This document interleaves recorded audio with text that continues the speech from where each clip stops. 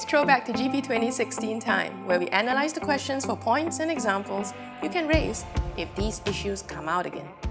Everyone has an opinion, but not everyone's opinion is of equal value. What is your view? Nobody can dispute that everyone has an opinion, or has the right to one. We just need to recognize them for what they really are.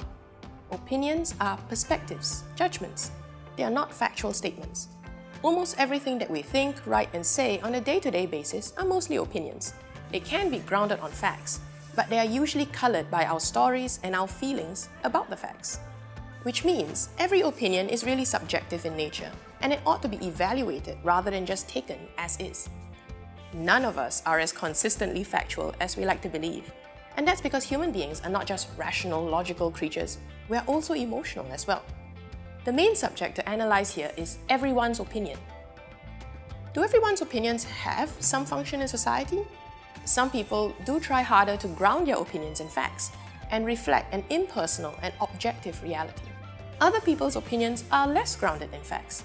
Their opinions reflect a more personal and subjective reality. Everyone's opinions as a whole, though, even the crazy ones and especially the ones we disagree with, are a reflection of a reality we must learn to work with. There is value in paying attention even to differing, ungrounded opinions. It helps us figure out our own blind spots and see how to address differences with people who are not like us.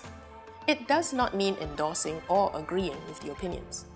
For instance, after the 1994 genocide, Rwanda embarked on a difficult process of reconciliation where small groups of survivors and perpetrators in the genocide were brought together to just hear out each other's opinions and prejudices. Through this remarkable healing process, perpetrators have been able to return to their communities and live side by side with communities that they had once attacked. Acknowledging the value of each other's perspective does help preserve a healthy level of unity in society.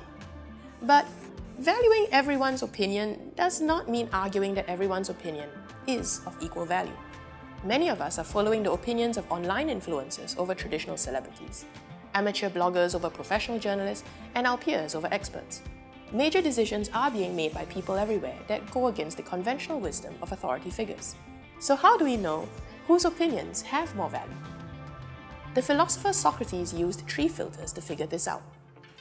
The first filter is, is this opinion true? Is the opinion grounded on facts? Is it backed by experts with domain knowledge? For instance, many bloggers, celebrities, and politicians have become popular advocates against vaccinations.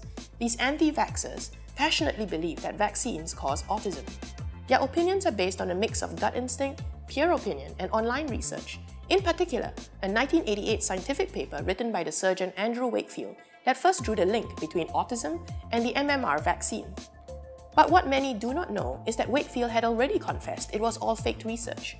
His paper had already been debunked by the medical community, and he has been struck off the UK Medical Register for dishonesty. Moreover, medical research does show that vaccines are necessary to maintain herd immunity. In fact, all diseases like measles that have been kept at bay for years by vaccines are now breaking out again in parts of America because of the increase of unvaccinated children. A second filter is Is this opinion good?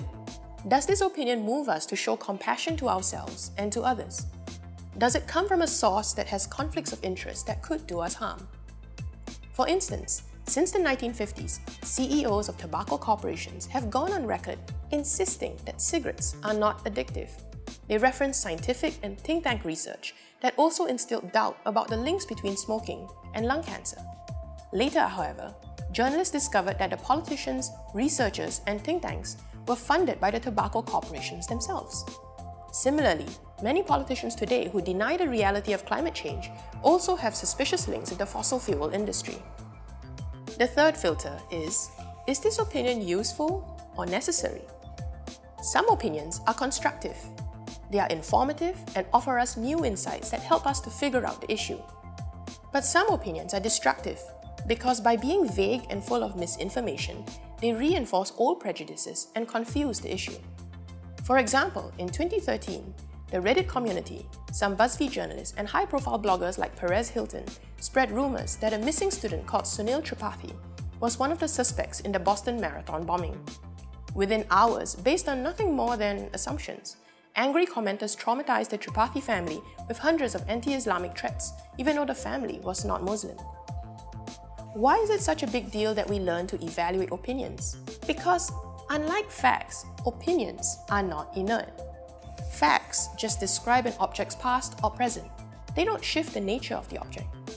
But opinions actually declare a new future for an object, shifting it towards a new path for better or for worse.